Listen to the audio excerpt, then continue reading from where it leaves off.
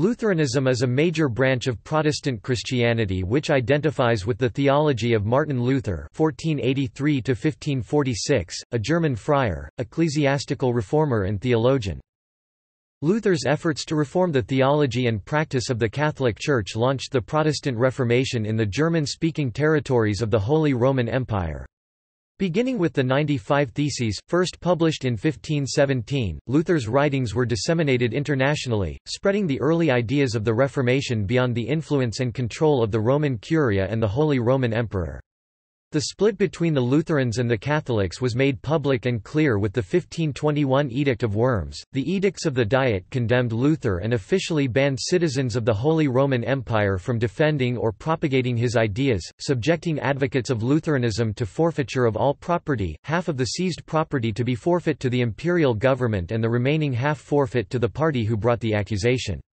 The divide centered primarily on two points, the proper source of authority in the Church, often called the formal principle of the Reformation, and the doctrine of justification, often called the material principle. Lutheranism advocates a doctrine of justification, by grace alone through faith alone on the basis of Scripture alone. The doctrine that Scripture is the final authority on all matters of faith. This is in contrast to the belief of the Catholic Church, defined at the Council of Trent, concerning authority coming from both the scriptures and tradition. In addition, Lutheranism accepts the teachings of the first seven ecumenical councils of the Christian Church. The Augsburg Confession, a Lutheran statement of belief contained in the Book of Concord, teaches that the faith is confessed by Luther and his followers as nothing new, but the true Catholic faith, and that their churches represent the true Catholic or universal Church. When the Lutherans presented the Augsburg Confession to Charles V, Holy Roman Emperor, they believed to have showed that each article of faith and practice was true first of all to Holy Scripture, and then also to the teaching of the Church Fathers and the Councils." Unlike Calvinism, Lutherans retain many of the liturgical practices and sacramental teachings of the pre-Reformation Church, with a particular emphasis on the Eucharist, or Lord's Supper. The predominant rite used by the Lutheran churches is a Western one based on the Formula Missae although other Lutheran liturgies are also in use, such as those used in the Byzantine Rite Lutheran churches. Lutheran theology differs from Reformed theology in Christology, the purpose of God's law, the divine grace, the concept of perseverance of the saints, and predestination. Today, Lutheranism is one of the largest denominations of Protestantism. With approximately 80 million adherents, it constitutes the third most common Protestant denomination after historically Pentecostal denominations and Anglicanism. The Lutheran World Federation, the largest communion of Lutheran churches, represents over 74 million people. Other Lutheran organizations include the International Lutheran Council and the Confessional Evangelical Lutheran Conference, as well as independent churches. Etymology The name Lutheran originated as a derogatory term used against Luther by German scholastic theologian Dr. Johann Maier von Eck during the Leipzig debate in July 1519. Eck and other Catholics followed the traditional practice of naming a heresy after its leader, thus labeling all who identified with the theology of Martin Luther as Lutherans. Martin Luther always disliked the term Lutheran, preferring the term evangelical, which was derived from euangelion, a Greek word meaning, good news i.e., gospel. The followers of John Calvin, Huldrych Zwingli, and other theologians linked to the Reformed tradition also began to use that term. To distinguish the two evangelical groups, others began to refer to the two groups as Evangelical Lutheran and Evangelical Reformed. As time passed by, the word evangelical was dropped. Lutherans themselves began to use the term Lutheran in the middle of the 16th century, in order to distinguish themselves from other groups such as the Philippists and Calvinists. In 1597, theologians in Wittenberg defined the title Lutheran as referring to the true Church.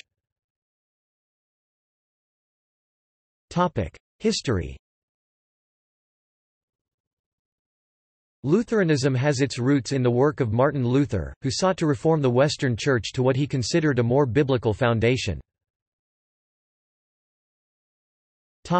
Spread into Northern Europe Lutheranism spread through all of Scandinavia during the 16th century, as the monarch of Denmark-Norway also ruling Iceland and the Faroe Islands and the monarch of Sweden also ruling Finland adopted Lutheranism. Through Baltic German and Swedish rule, Lutheranism also spread into Estonia and Latvia. Since 1520, regular Lutheran services have been held in Copenhagen. Under the reign of Frederick I (1523–33), Denmark-Norway remained officially Catholic. Although Frederick initially pledged to persecute Lutherans, he soon adopted a policy of protecting Lutheran preachers and reformers, the most significant being Hans Tausen. During Frederick's reign, Lutheranism made significant inroads in Denmark. At an open meeting in Copenhagen attended by the king in 1536, the people shouted, "We will stand by the Holy Gospel, and do not want such bishops any more." Frederick's son Christian was openly Lutheran, which prevented his election to the throne upon his father's death. However, following his victory in the civil war that followed, in 1537 he became Christian III and advanced the Reformation in Denmark-Norway. The constitution upon which the Danish-Norwegian Church, according to the church ordinance, should rest was, "...the pure word of God, which is the law and the gospel." It does not mention the Augsburg Confession. The priests had to understand the Holy Scripture well enough to preach and explain the Gospel and the epistles for their congregations. The youths were taught from Luther's Small Catechism, available in Danish since 1532. They were taught to expect at the end of life, "...forgiving of their sins", to be counted as just, and the eternal life. Instruction is still similar. The first complete Bible in Danish was based on Martin Luther's translation into German. It was published in 1550, with 3,000 copies printed in the first edition, a second edition was published in 1589. Unlike Catholicism, the Lutheran Church does not believe that tradition is a carrier of the Word of God, or that only the communion of the Bishop of Rome has been entrusted to interpret the Word of God. The Reformation in Sweden began with Olaus and Laurentius Petri, brothers who took the Reformation to Sweden after studying in Germany. They led Gustav Vasa, elected king in 1523, to Lutheranism. The Pope's refusal to allow the replacement of an archbishop who had supported the invading forces opposing Gustav Vasa during the Stockholm bloodbath led to the severing of any official connection between Sweden and the papacy in 1523. Four years later, at the Diet of Västerås, the king succeeded in forcing the Diet to accept his dominion over the national church. The king was given possession of all church properties, as well as the church appointments and approval of the clergy. While this effectively granted official sanction to Lutheran ideas, Lutheranism did not become official until 1593. At that time the Uppsala Synod declared Holy Scripture the sole guideline for faith, with four documents accepted as faithful and authoritative explanations of it, the Apostles' Creed, the Nicene Creed, the Athanasian Creed, and the unaltered Augsburg Confession of 1530. Michael Agricola's translation of the first Finnish New Testament was published in 1548. Schmalkaldic War and the Formula of Concord After the death of Martin Luther in 1546, the Schmalkaldic War started out as a conflict between two German Lutheran rulers in 1547. Soon, Holy Roman Imperial forces joined the battle and conquered the members of the Schmalkaldic League, oppressing and exiling many German Lutherans as they enforced the terms of the Augsburg Interim. Religious freedom was secured for Lutherans through the Peace of Passau in 1552, and under the Cuius Regio, Eius Religio the religion of the ruler was to dictate the religion of those ruled and Declaratio Ferdinandae limited religious tolerance clauses of the Peace of Augsburg in 1555, religious disputes between the Crypto-Calvinists, Philippists, Sacramentarians, Ubiquitarians and Gnesio-Lutherans raged within Lutheranism during the middle of the 16th century. This finally ended with the resolution of the issues in the Formula of Concord. Large numbers of politically and religiously influential leaders met together, debated, and resolved these topics on the basis of Scripture, resulting in the Formula, which over 8,000 leaders signed. The Book of Concord replaced earlier, incomplete collections of doctrine, unifying all German Lutherans with identical doctrine and beginning the period of Lutheran orthodoxy. Lutheran Orthodoxy The historical period of Lutheran Orthodoxy is divided into three sections: Early Orthodoxy (1580 to 1600), High Orthodoxy (1600 to 1685), and Late Orthodoxy (1685 to 1730). Lutheran scholasticism developed gradually especially for the purpose of arguing with the Jesuits, and it was finally established by Johann Gerhard. Abraham Calovius represents the climax of the scholastic paradigm in Orthodox Lutheranism. Other Orthodox Lutheran theologians include Martin Chemnitz, Aegidius Hunnius, Leonard Hutter, Nikolaus Hunnius, Jesper Rasmussen Brochmand, Salomo Glassius, Johann Hülsemann, Johann Conrad Dannhauer, Johannes Andreas Quenstedt, Johann Friedrich Koenig and Johann Wilhelm Baier. Near the end of the Thirty Years' War, the compromising spirit seen in Philip Melanchthon rose up again in Helmstedt school and especially in theology of Georgius Calixtus, causing the syncretistic controversy. Another theological issue that arose was the crypto-kenotic controversy. Late Orthodoxy was torn by influences from rationalism, philosophy based on reason, and Pietism, a revival movement in Lutheranism. After a century of vitality, the Pietist theologians Philip Jakob Spener and August Hermann Francke warned that orthodoxy had degenerated into meaningless intellectualism and formalism, while Orthodox theologians found the emotional and subjective focuses of Pietism to be vulnerable to rationalist propaganda. The last famous Orthodox Lutheran theologian before the rationalist Aufklärung, or Enlightenment, was David Hollatz. Late Orthodox theologian Valentin Ernst Loscher took part in the controversy against Pietism.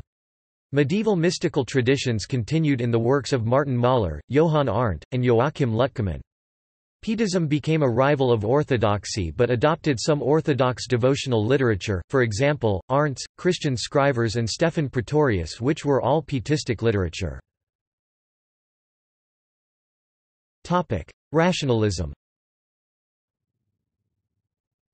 Rationalist philosophers from France and England had an enormous impact during the 18th century, along with the German rationalists Christian Wolff, Gottfried Leibniz and Immanuel Kant. Their work led to an increase in rationalist beliefs, at the expense of faith in God and agreement with the Bible. In 1709, Valentin Ernst Loscher warned that this new rationalist view of the world fundamentally changed society by drawing into question every aspect of theology. Instead of considering the authority of divine revelation, he explained, rationalists relied solely on their personal understanding when searching for truth. Johann Melchior Goeze (1717–1786), pastor of St. Catherine's Church, Hamburg, wrote apologetical works against rationalists, including a theological and historical defense against the historical criticism of the Bible. Dissenting Lutheran pastors were often reprimanded by the government bureaucracy overseeing them, for example, when they tried to correct rationalist influence differences in the parish school. As a result of the impact of a local form of rationalism, termed neology, by the latter half of the 18th century, genuine piety was found almost solely in small pietist conventicles. However, some of the laity preserved Lutheran orthodoxy from both Pietism and rationalism through reusing old catechisms, hymn books, postils, and devotional writings, including those written by Johann Gerhard, Heinrich Müller and Christian Scriver. Revivals A layman, Luther scholar Johann Georg Hamann (1730–1788) became famous for countering rationalism and striving to advance a revival known as the Erweckung, or Awakening. In 1806, Napoleon's invasion of Germany promoted rationalism and angered German Lutherans, stirring up a desire among the people to preserve Luther's theology from the rationalist threat. Those associated with this awakening held that reason was insufficient and pointed out the importance of emotional religious experiences. Small groups sprang up, often in universities, which devoted themselves to Bible study, reading devotional writings, and revival meetings. Although the beginning of this awakening tended heavily toward romanticism, patriotism, and experience, the emphasis of the awakening shifted around 1830 to restoring the traditional liturgy, doctrine, and confessions of the Lutheran Church in the Neo-Lutheran movement. This awakening swept through all of Scandinavia though not Iceland. It developed from both German Neo-Lutheranism and Pietism. Danish pastor and philosopher N. F. S. Grundtvig reshaped church life throughout Denmark through a reform movement beginning in 1830.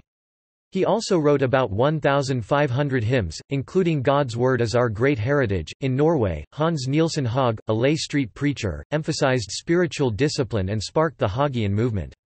Also in Norway, the awakening drove the growth of foreign missions to non-Christians to a new height, which has never been reached since. In Sweden, Lars Levi Laestadius began the Laestadian movement that emphasized moral reform. In Finland, a farmer, Paavo Ruotsalainen, began the Finnish awakening when he took to preaching about repentance and prayer. In 1817, Frederick William III of Prussia ordered the Lutheran and Reformed churches in his territory to unite, forming the Evangelical Church of the Prussian Union. The unification of the two branches of German Protestantism sparked the schism of the Old Lutherans. Many Lutherans, called Old Lutherans, chose to leave the state churches despite imprisonment and military force. Some formed independent church bodies, or free churches, at home while others left for the United States, Canada and Australia. A similar legislated merger in Silesia prompted thousands to join the Old Lutheran movement. The dispute over ecumenism overshadowed other controversies within German Lutheranism. Despite political meddling in church life, local and national leaders sought to restore and renew Christianity. Neo-Lutheran Johann Conrad Wilhelm Lohe and Old Lutheran Free Church leader Friedrich August Brunn both sent young men overseas to serve as pastors to German Americans, while the inner mission focused on renewing the situation home. Johann Gottfried Herder, superintendent at Weimar and part of the inner mission movement, joined with the Romantic movement with his quest to preserve human emotion and experience from rationalism. Ernst Wilhelm Hengstenberg, though raised Reformed, became convinced of the truth of historic Lutheranism as a young man. He led the Neo-Lutheran Repristination school of theology, which advocated a return to the orthodox theologians of the 17th century and opposed modern Bible scholarship. As editor of the periodical Evangelisch Kirchenzeitung, he developed it into a major support of Neo-Lutheran revival and used it to attack all forms of theological liberalism and rationalism. Although he received a large amount of slander and ridicule during his 40 years at the head of Revival, he never gave up his positions. The theological faculty at the University of Erlangen in Bavaria became another force for reform. There, Professor Adolf von Harless, though previously an adherent of rationalism and German idealism, made Erlangen a magnet for revival-oriented theologians. Termed the Erlangen School of Theology, they developed a new version of the Incarnation, which they felt emphasized the humanity of Jesus better than the ecumenical creeds. As theologians, they used both modern historical critical and Hegelian philosophical methods instead of attempting to revive the orthodoxy of the 17th century. Friedrich Julius Stahl led the High Church Lutherans. Though raised a Jew, he was baptized as a Christian at the age of 19 through the influence of the Lutheran school he attended. As the leader of a neofeudal Prussian political party, he campaigned for the divine right of kings, the power of the nobility, and episcopal polity for the Church. Along with Theodor Kliefoth and August Friedrich Christian Vilmar, he promoted agreement with the Catholic Church with regard to the authority of the institutional Church, ex opere operato effectiveness of the sacraments, and the divine authority of clergy. Unlike Catholics, however, they also urged complete agreement with the Book of Concord. The Neo Lutheran movement managed to slow secularism and counter atheistic Marxism, but it did not fully succeed in Europe. It partly succeeded in continuing the Pietist movement's drive to right social wrongs and focus on individual conversion. The Neo-Lutheran call to renewal failed to achieve widespread popular acceptance because it both began and continued with a lofty, idealistic romanticism that did not connect with an increasingly industrialized and secularized Europe. At best, the work of local leaders resulted in specific areas with vibrant spiritual renewal, but people in Lutheran areas overall continued to become increasingly distant from church life. Additionally, the revival movements were divided by philosophical traditions. The Repristination school and Old Lutherans tended towards Kantianism, while the Erlangen school promoted a conservative Hegelian perspective. By 1969, Manfred Kober complained that, "...unbelief is rampant," even within German Lutheran parishes.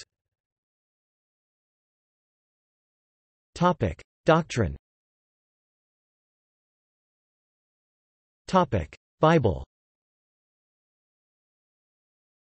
Traditionally, Lutherans hold the Bible of the Old and New Testaments to be the only divinely inspired book, the only source of divinely revealed knowledge, and the only norm for Christian teaching. Scripture alone is the formal principle of the faith, the final authority for all matters of faith and morals because of its inspiration, authority, clarity, efficacy, and sufficiency. The authority of the Scriptures has been challenged during the history of Lutheranism. Martin Luther taught that the Bible was the written word of God, and the only reliable guide for faith and practice. He held that every passage of Scripture has one straightforward meaning, the literal sense is interpreted by other Scripture. These teachings were accepted during the Orthodox Lutheranism of the 17th century. During the 18th century, rationalism advocated reason rather than the authority of the Bible as the final source of knowledge, but most of the laity did not accept this rationalist position. In the 19th century, a confessional revival re-emphasized the authority of the Bible and agreement with the Lutheran confessions. Today, Lutherans disagree about the inspiration and authority of the Bible.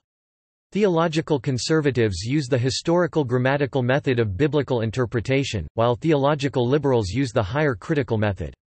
The 2008 U.S. Religious Landscape Survey conducted by the Pew Research Center surveyed 1,926 adults in the United States that self-identified as Lutheran. The study found that 30% believed that the Bible was the Word of God and was to be taken literally word for word. 40% held that the Bible was the Word of God, but was not literally true word for word or were unsure if it was literally true word for word. 23% said the Bible was written by men and not the Word of God, 7% did not know, were not sure, or had other positions. Inspiration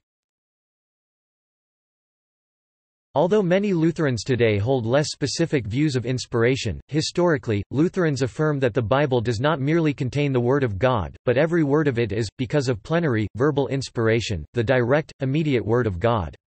The Apology of the Augsburg Confession identifies Holy Scripture with the Word of God and calls the Holy Spirit the author of the Bible. Because of this, Lutherans confess in the Formula of Concord, we receive and embrace with our whole heart the prophetic and apostolic scriptures of the Old and New Testaments as the pure, clear fountain of Israel." The apocryphal books were not written by the prophets nor by inspiration, they contain errors and were never included in the Judean canon that Jesus used, therefore they are not a part of Holy Scripture. The prophetic and apostolic scriptures are authentic as written by the prophets and apostles. A correct translation of their writings is God's Word because it has the same meaning as the original Hebrew and Greek. A mistranslation is not God's Word, and no human authority can invest it with divine authority. Clarity Historically, Lutherans understand the Bible to present all doctrines and commands of the Christian faith clearly.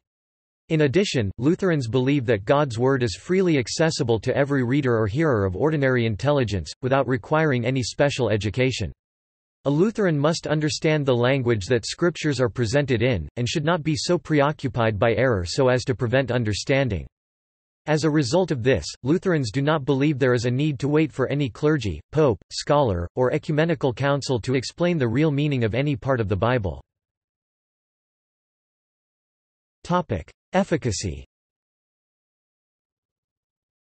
Lutherans confess that Scripture is united with the power of the Holy Spirit and with it, not only demands, but also creates the acceptance of its teaching. This teaching produces faith and obedience. Holy Scripture is not a dead letter, but rather, the power of the Holy Spirit is inherent in it.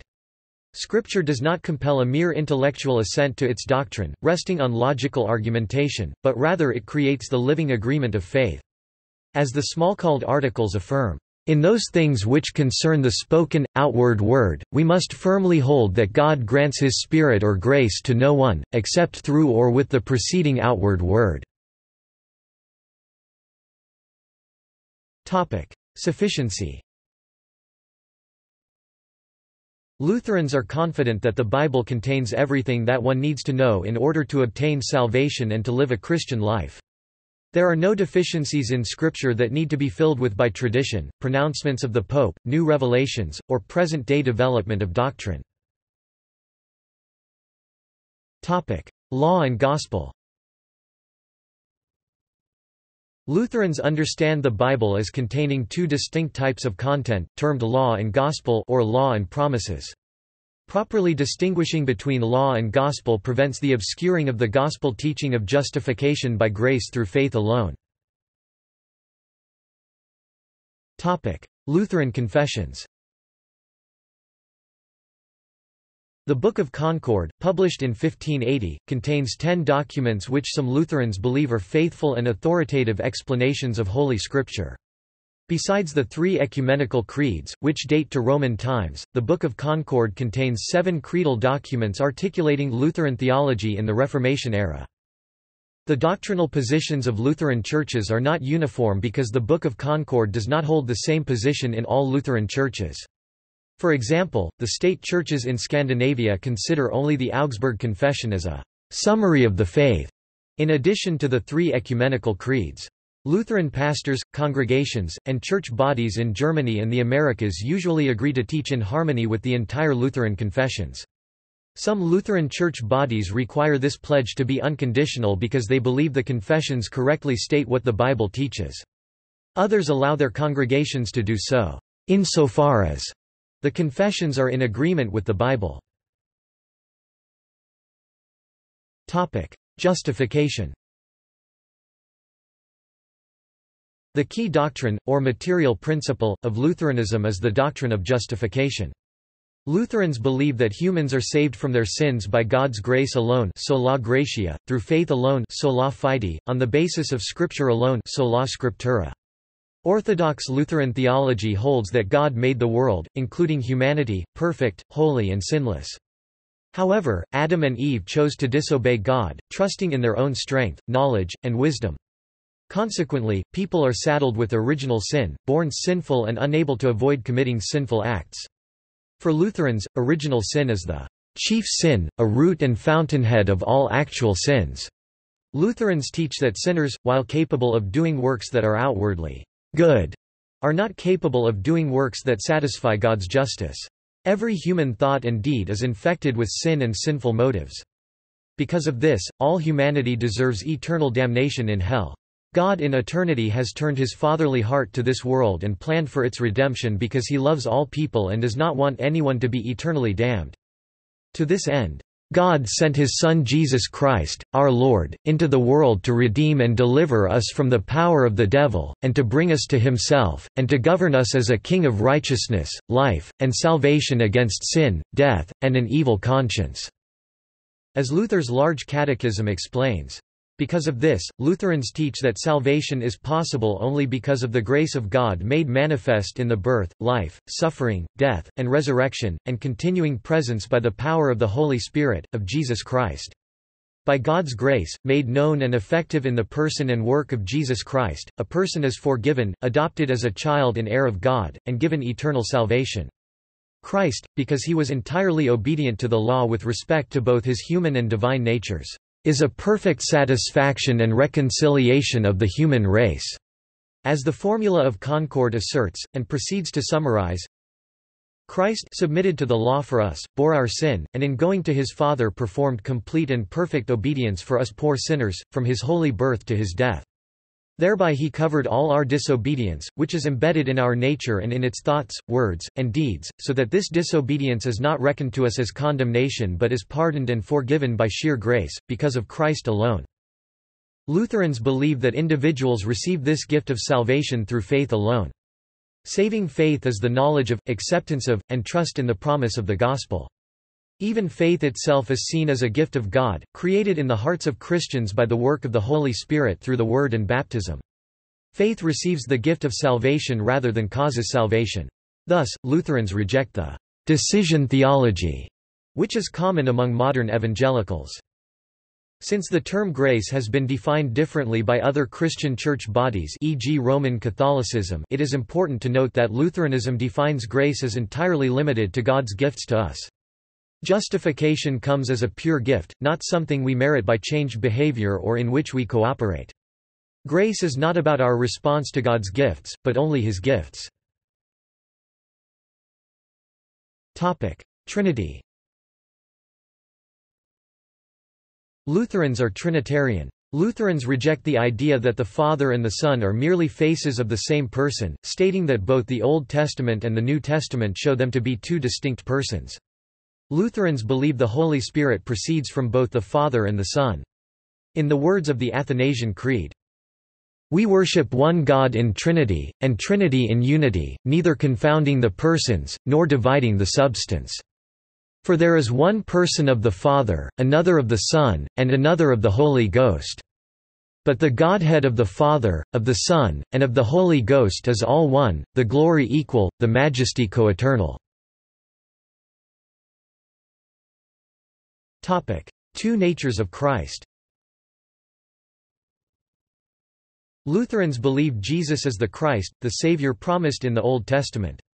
They believe he is both by nature God and by nature man in one person, as they confess in Luther's Small Catechism that he is true God begotten of the Father from eternity and also true man born of the Virgin Mary."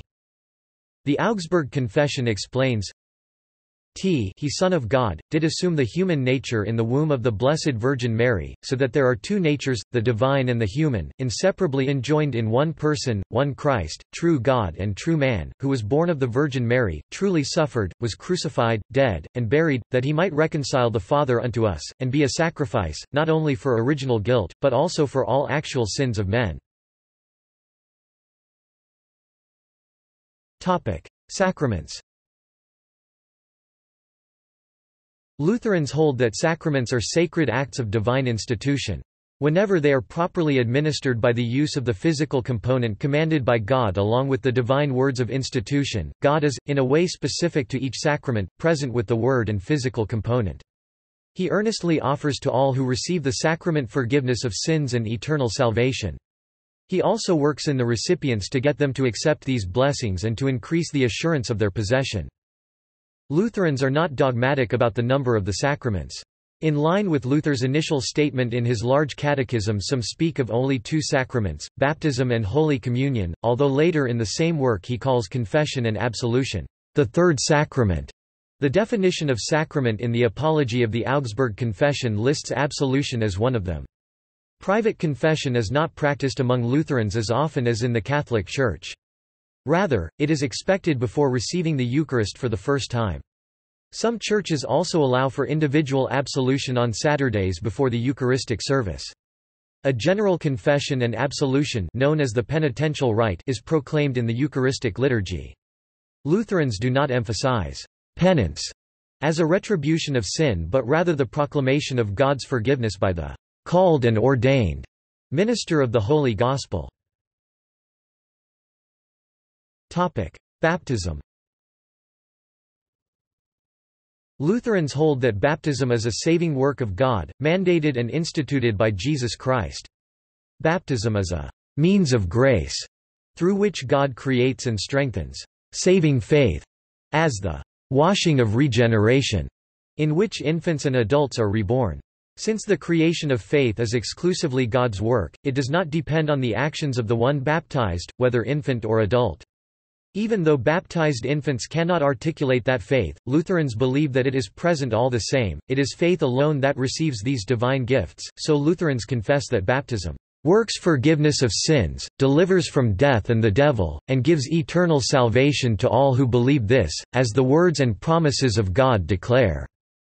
Lutherans hold fast to the scripture cited in 1 Peter 3 verse 21. Baptism, which corresponds to this, now saves you, not as a removal of dirt from the body but as an appeal to God for a good conscience, through the resurrection of Jesus Christ." Therefore, Lutherans administer baptism to both infants and adults.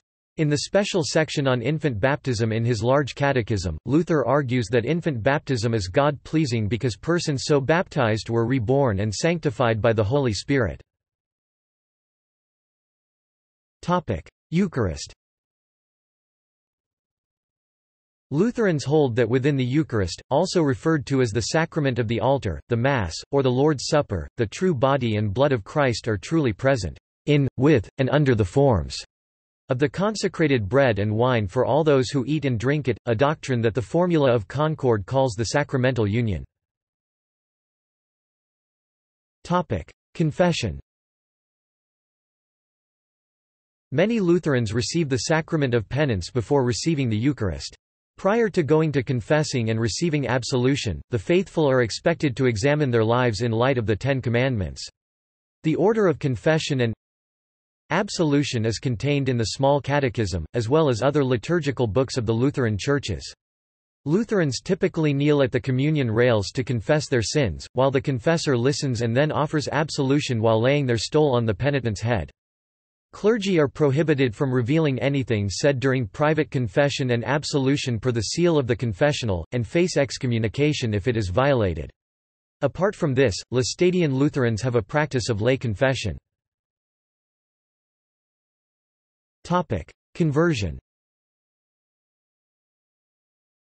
In Lutheranism, conversion or regeneration in the strict sense of the term is the work of divine grace and power by which man, born of the flesh, and void of all power to think, to will, or to do any good thing, and dead in sin is, through the gospel and holy baptism, taken from a state of sin and spiritual death under God's wrath into a state of spiritual life of faith and grace, rendered able to will and to do what is spiritually good and, especially, made to trust in the benefits of the redemption which is in Christ Jesus. During conversion, one is moved from impenitence to repentance.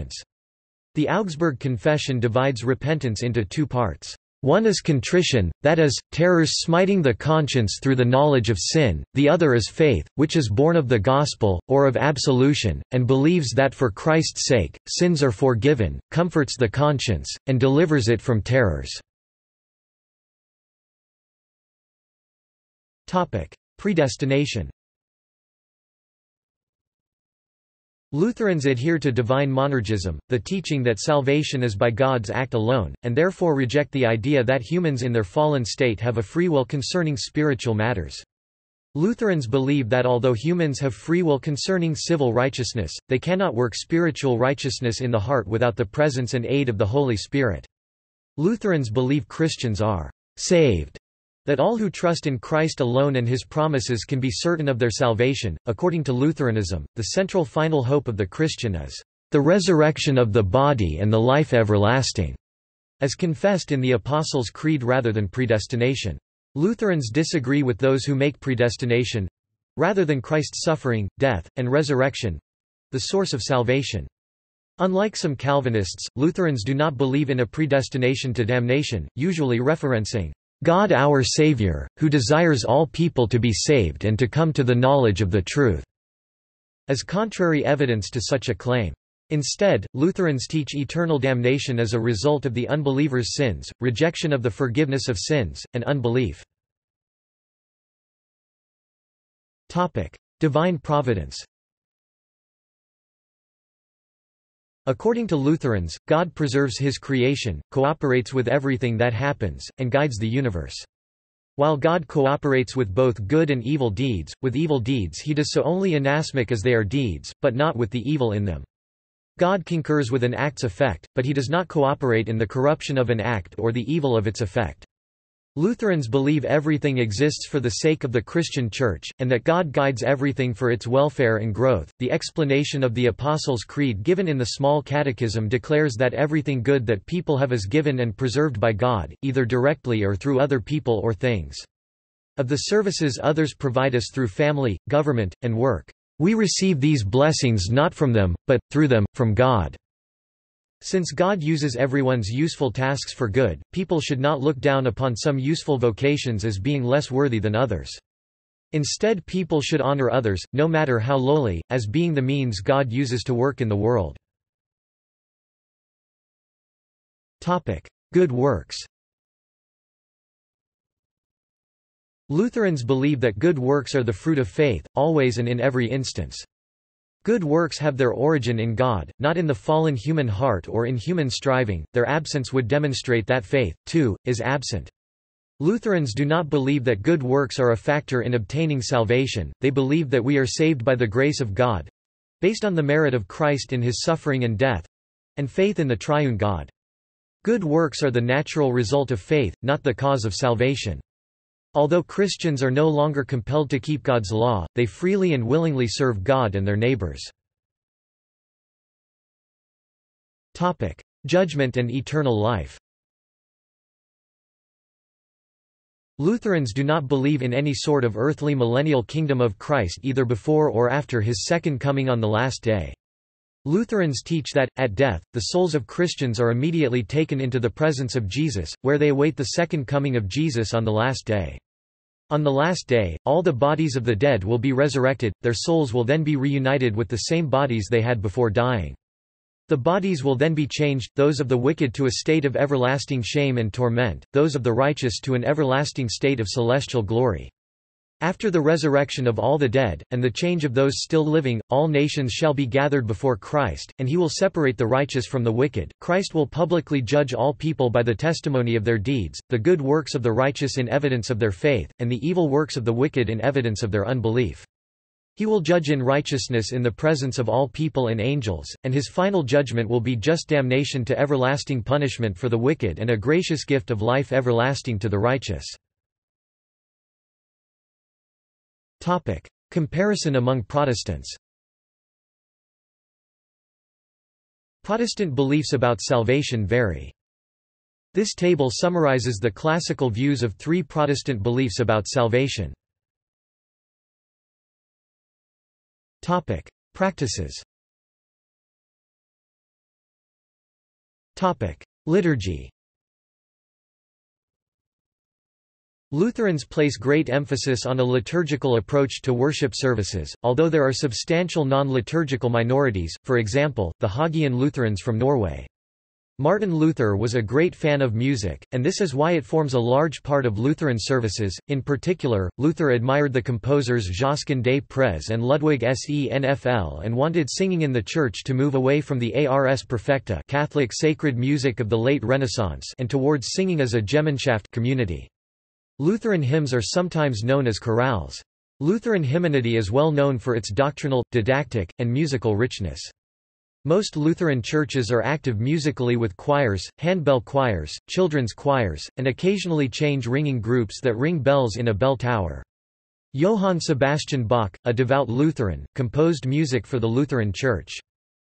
Lutherans also preserve a liturgical approach to the celebration of the Mass or the Holy Eucharist, communion, emphasizing the sacrament as the central act of Christian worship. Lutherans believe that the actual body and blood of Jesus Christ are present in, with and under the bread and the wine. This belief is called real presence or sacramental union and is different from consubstantiation and transubstantiation. Additionally Lutherans reject the idea that communion is a mere symbol or memorial. They confess in the Apology of the Augsburg Confession, We do not abolish the Mass but religiously keep and defend it. Among us the Mass is celebrated every Lord's Day and on other festivals, when the sacrament is made available to those who wish to partake of it, after they have been examined and absolved. We also keep traditional liturgical forms, such as the order of readings, prayers, vestments, and other similar things. Besides the Holy Communion divine service, congregations also hold offices, which are worship services without communion. They may include Matins, Vespers, Compline, and Easter Vigil. Private or family offices include the morning and evening prayers from Luther's Small Catechism. Meals are blessed with the common table prayer, Psalm chapter 145 verses 15 to 16, or other prayers, and after eating the Lord is thanked, for example, with Psalm chapter 136 verse 1. In addition, Lutherans use devotional books, from small daily devotionals, for example, Portals of Prayer, to large breviaries, including the Breviarium Lipsiense and Treasury of Daily Prayer. The predominant rite used by the Lutheran churches is a Western one based on the Formula Missae form of the Mass, Although other Lutheran liturgies are also in use, such as those used in the Byzantine Rite Lutheran churches, such as the Ukrainian Lutheran Church and Evangelical Church of the Augsburg Confession in Slovenia, in the 1970s, many Lutheran churches began holding contemporary worship services for the purpose of evangelistic outreach. These services were in a variety of styles, depending on the preferences of the congregation. Often they were held alongside a traditional service in order to cater to those who preferred contemporary worship music. Today, few but some Lutheran congregations have contemporary worship as their sole form of worship. Outreach is no longer given as the primary motivation, rather this form of worship is seen as more in keeping with the desires of individual congregations. In Finland, Lutherans have experimented with the St. Thomas Mass and Metal Mass in which traditional hymns are adapted to heavy metal. The Lutheran World Federation, in its Nairobi Statement on Worship and Culture, recommended every effort be made to bring church services into a more sensitive position with regard to cultural context. In 2006, both the Evangelical Lutheran Church in America and the Lutheran Church Missouri Synod (LCMS), in cooperation with certain foreign English-speaking church bodies within their respective fellowships, released new hymnals: Evangelical Lutheran Worship and Lutheran Service Book (LCMS). Along with these, the most widely used among English-speaking congregations include, Evangelical Lutheran Hymnary 1996, Evangelical Lutheran Synod, the Lutheran Book of Worship 1978, Lutheran Council in the United States of America, Lutheran Worship 1982, LCMS, Christian Worship 1993, Wisconsin Evangelical Lutheran Synod, and the Lutheran Hymnal 1941, Evangelical Lutheran Synodical Conference of North America. In the Lutheran Church of Australia, the official hymnal is the Lutheran Hymnal with Supplement of 1986, which includes a supplement to the Lutheran Hymnal of 1973, itself a replacement for the Australian Lutheran Hymn Book of 1921. Prior to this time, the two Lutheran church bodies in Australia which merged in 1966 used a bewildering variety of hymnals, usually in the German language. Spanish-speaking ELCA churches frequently use Libro de Liturgia y Cantico 1998, Augsburg Fortress for services and hymns. Missions Sizable Lutheran missions arose for the first time during the 19th century. Early missionary attempts during the century after the Reformation did not succeed. However, European traders brought Lutheranism to Africa beginning in the 17th century as they settled along the coasts. During the first half of the 19th century, missionary activity in Africa expanded, including preaching by missionaries, translation of the Bible, and education. Lutheranism came to India beginning with the work of Bartholomaeus Ziegenbalg, where a community totaling several thousand developed, complete with their own translation of the Bible, catechism, their own hymnal, and system of Lutheran schools. In the 1840s, this church experienced a revival through the work of the Leipzig mission, including Karl Graul. After German missionaries were expelled in 1914, Lutherans in India became entirely autonomous, yet preserved their Lutheran character. In recent years India has relaxed its anti-religious conversion laws, allowing a resurgence in missionary work. In Latin America, missions began to serve European immigrants of Lutheran background, both those who spoke German and those who no longer did. These churches in turn began to evangelize those in their areas who were not of European background, including indigenous peoples. In 1892, the first Lutheran missionaries reached Japan. Although work began slowly and a major setback occurred during the hardships of World War II. Lutheranism there has survived and become self-sustaining. After missionaries to China, including those of the Lutheran Church of China, were expelled, they began ministry in Taiwan and Hong Kong, the latter which became a center of Lutheranism in Asia. The Lutheran Mission in New Guinea, though founded only in 1953, became the largest Lutheran mission in the world in only several decades.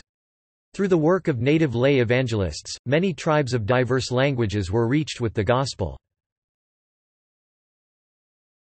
Topic: Education Catechism is considered foundational in most Lutheran churches. Almost all maintain Sunday schools, and some host or maintain Lutheran schools, at the preschool, elementary, middle, high school, folk high school, or university level. Lifelong study of the Catechism is intended for all ages so that the abuses of the pre-Reformation Church will not recur.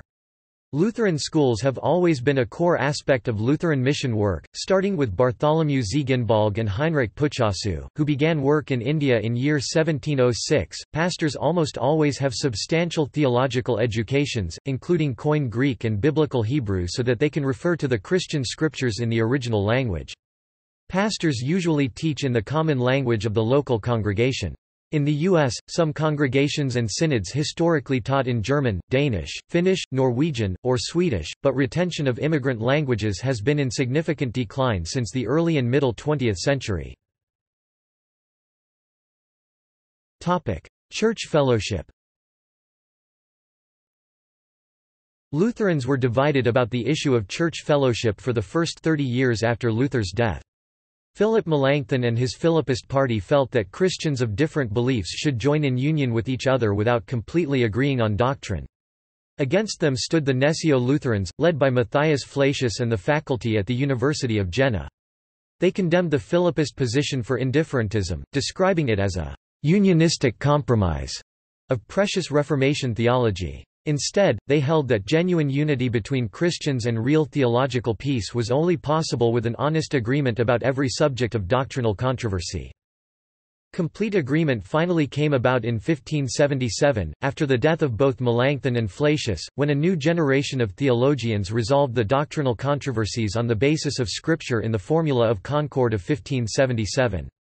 Although they decried the visible division of Christians on earth, Orthodox Lutherans avoided ecumenical fellowship with other churches, believing that Christians should not, for example, join together for the Lord's Supper or exchange pastors if they do not completely agree about what the Bible teaches.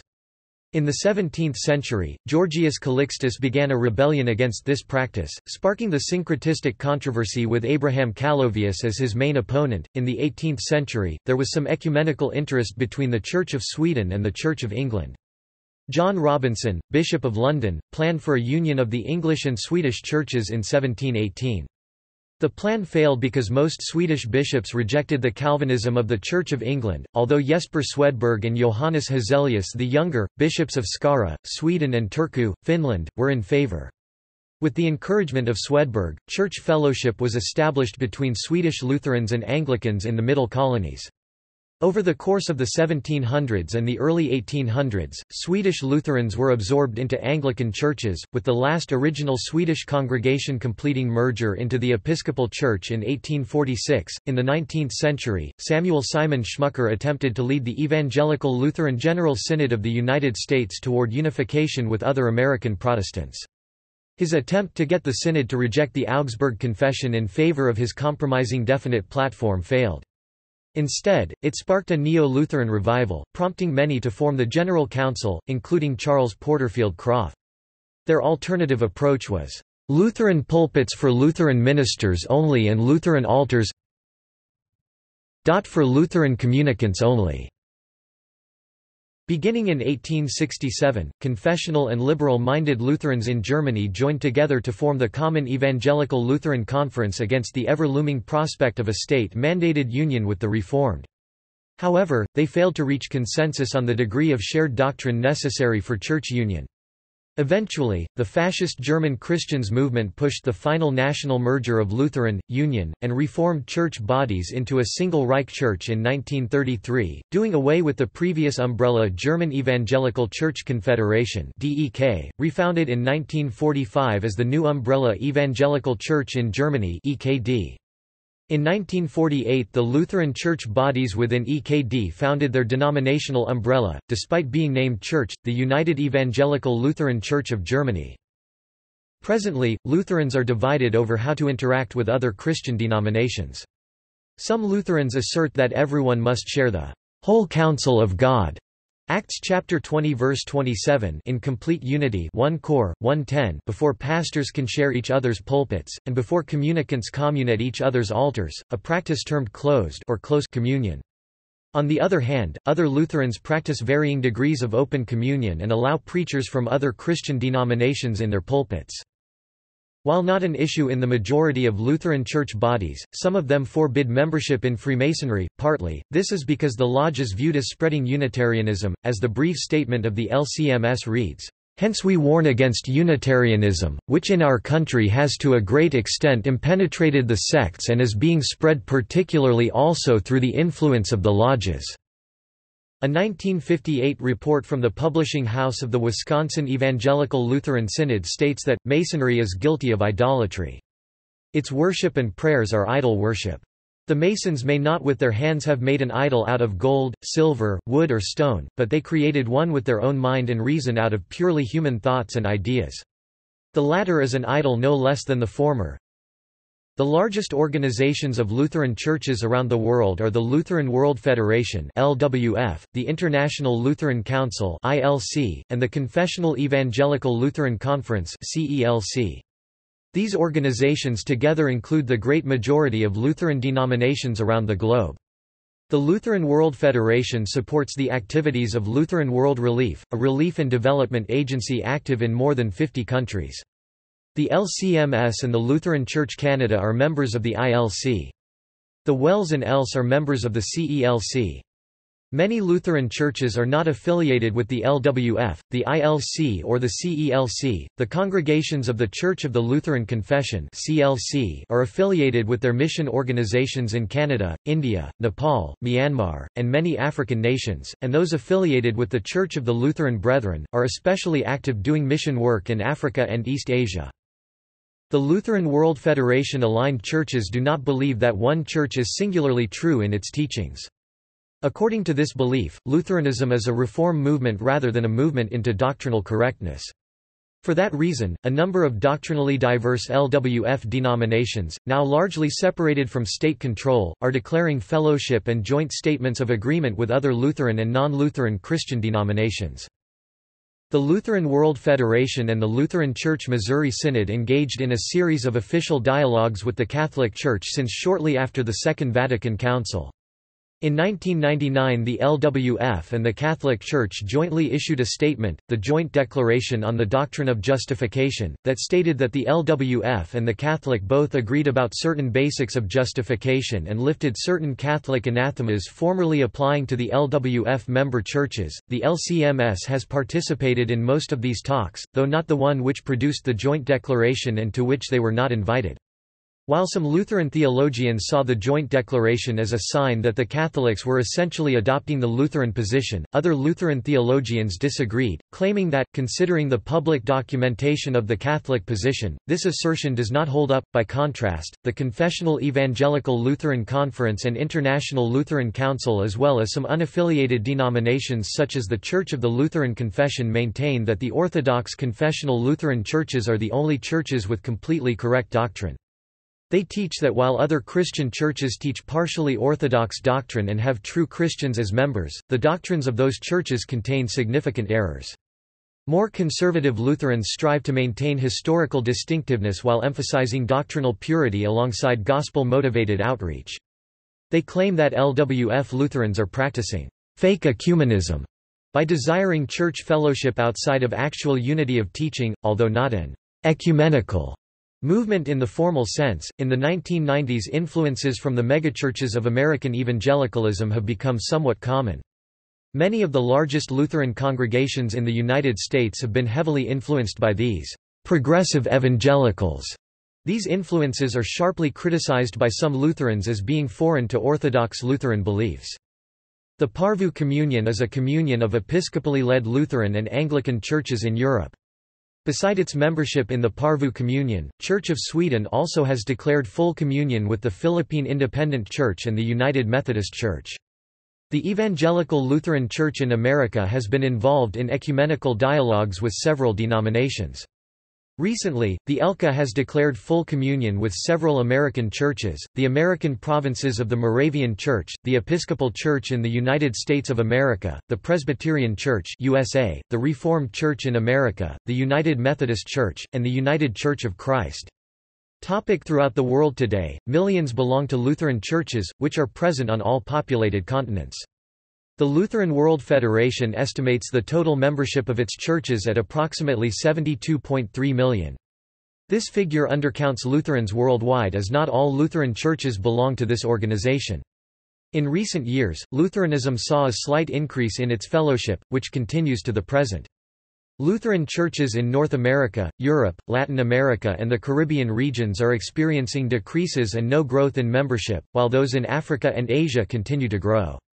Lutheranism is the largest religious group in Denmark, the Faroe Islands, Greenland, Iceland, Norway, Sweden, Finland, Latvia, Namibia, and North Dakota and South Dakota in the United States. Lutheranism is also the dominant form of Christianity in the White Mountain and San Carlos Apache nations. In addition, Lutheranism is a main Protestant denomination in Germany behind United Protestant Lutheran and Reformed churches. EKD Protestants form about 26.1% of the country's total population. Estonia, Poland, Austria, Slovakia, Slovenia, Croatia, Serbia, Kazakhstan, Tajikistan, Papua New Guinea, and Tanzania. Although Namibia is the only country outside Europe to have a Lutheran majority, there are sizable Lutheran bodies in other African countries. In the following African countries, the total number of Lutherans exceeds 100,000, Nigeria, Central African Republic, Chad, Kenya, Malawi, Congo, Cameroon, Ethiopia, Zimbabwe, and Madagascar. In addition, the following nations also have sizable Lutheran populations, Canada, France, the Czech Republic, Poland, Hungary, Slovakia, Brazil, Malaysia, India, Indonesia, the Netherlands within the Protestant Church of the Netherlands, South Africa, the United Kingdom, and the United States, especially in the heavily German and Scandinavian Upper Midwest. Lutheranism is also a state religion in Iceland, Norway, Denmark, Greenland, and the Faroe Islands. Finland has its Lutheran Church established as a national church.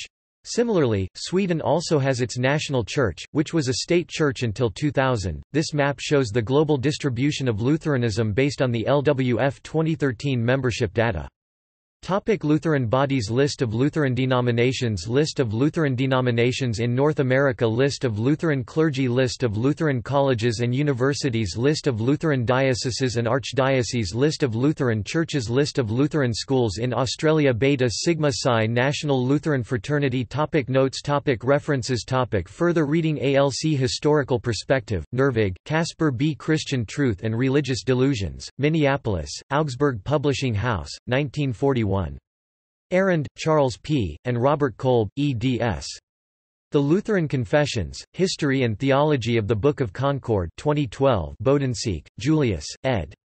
The Encyclopedia of the Lutheran Church 3 volume 1965 volume 1 and 3 online Free Brauer, James Leonard and Fred L. Precht, eds. Lutheran Worship, History and Practice 1993 CLC Perspective, Concerning Church Fellowship, A Statement of Principle. Eau Claire, Y., CLC Book House, 1996. Confessional and Historical Perspective, Gunther Gassmann and Scott Hendrix. Fortress Introduction to the Lutheran Confessions. Minneapolis, Fortress Press, 1999. ISBN 0-8006-3162-5. European Lutheran Perspective, Elert, Werner. The Structure of Lutheranism, The Theology and Philosophy of Life of Lutheranism, especially in the 16th and 17th centuries, trans. by Walter A. Hansen. St. Louis, Mo., Concordia Publishing House, 1962. N.B. Trans. of Morphologie des Luthertums, Volume 1 of which was published in 1931 at Munich by C. H. Beck'sche Verlagsbuchhandlung, 1931, Volume 2 in German appearing in 1932, the T. P. of this English-language ed. States Volume 1, but there has been no publication, as part of this English ed., of Volume 2. Fellowship of Lutheran Congregations Perspective, What True Lutherans Teach. Oak Parks, IL, ELC. Tract Center, 199, 11 p. NB. There is no personal author or specific committee credited with this brochure. General Council Historical Perspective, Krauth, Charles Porterfield 1875. The Conservative Reformation and its Theology, as represented in the Augsburg Confession, and in the History and Theology of the Evangelical Lutheran Church 2nd ed. Philadelphia, J. P. Lippincott. p. 840. ISBN 0-7586-0994-9. Granquist, Mark. Lutherans in America, A New History 2015 LCA Historical Perspective, Braaten, Carl E. 1983. Principles of Lutheran Theology. Philadelphia, Fortress Press. ISBN 0-8006-1689-8. LCA Historical Worship Perspective, Reed, Luther D. The Lutheran Liturgy, a study especially of the common service of the Lutheran Church in America. Philadelphia, Penn, Muhlenberg Press, 1947. NB. This study also includes some coverage of other Lutheran liturgical services, especially of Matins and Vespers. LCMS Perspective, Pieper, Franz 1950–1957. Christian Dogmatics. St. Louis, Mo., Concordia Publishing House. p. 3 volumes. ISBN 0-570-06714-6. LCMS Perspective, Engelder, Theodore E. W. 1934. Popular Symbolics, The Doctrines of the Churches of Christendom and of Other Religious Bodies Examined in the Light of Scripture. St. Louis, Mo., Concordia Publishing House. p. 526. LCMS Perspective, Brief Statement of the Doctrinal Position of the Missouri Synod 1932. St. Louis, Mo., Concordia Publishing House. LCMS Perspective, Graebner, Augustus Lawrence 1910. Outlines of Doctrinal Theology. St. Louis, Mo., Concordia Publishing House. p. 250. ISBN 0-524-04891-6. Archived from the original on 9 July 2006. LCMS Perspective, Kretschmer, Karl 198. What Lutherans Teach. St. Louis, Mo., Concordia Tract Mission. LCMS Perspective, Neuhaus, Richard John 1969. The Lutherans in Ecumenical Series. New York, Paulist Press.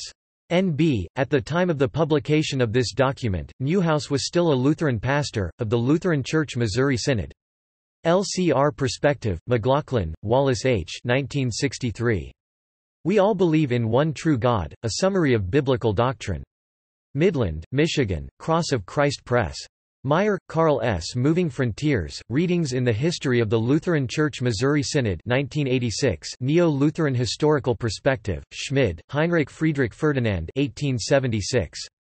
The Doctrinal Theology of the Evangelical Lutheran Church. Philadelphia, Lutheran Publication Society. ISBN 0-7905-8877-3. Norwegian Synod Historical Perspective, Monson, Ingvar Groth 1915. The Difference, A Popular Guide to Denominational History and Doctrine. St. Louis, Mo., Concordia Publishing House. Roeber, A. G. Palatines, Liberty, and Property, German Lutherans in Colonial British America 1998 Slovak Synod Historical Perspective, Richter, V. W. 1913. Why should a Lutheran not join any sectarian church? Streator, Illinois, Svedok Publishing House. WELS Perspective, Lange, Lyle W. 2006. God So Loved the World, A Study of Christian Doctrine. Northwestern Publishing House. ISBN 0-8100-1744-X. Comparison of about 50 Lutheran Church bodies in America, Brug, John F. 2009. WELS and Other Lutherans 2nd ed. Northwestern Publishing House. ISBN 0-8100-0543-3. Comparison of Catholic, Lutheran, and Protestant Doctrine, Jackson, Gregory L. 2007. Catholic, Lutheran, Protestant, A Doctrinal Comparison of Three Christian Confessions PDF. Glendale, Arizona, Martin Chemnitz Press. Topic external links Moldank, Edward F. Was East den Eigenlicht ein Lutheraner, Evangelisch Lutherisches Gemeindeblatt. Volume 1, Nos. 8–10 1866. Trans. Nathaniel J. Biebert. So What Actually is a Lutheran? Studium Excitare. Issue No. 12 2010. Lutherans. Collier's New Encyclopedia, 1921. A historical study of the Laestadian Lutheran Church, the SRK, and conservative Laestadianism.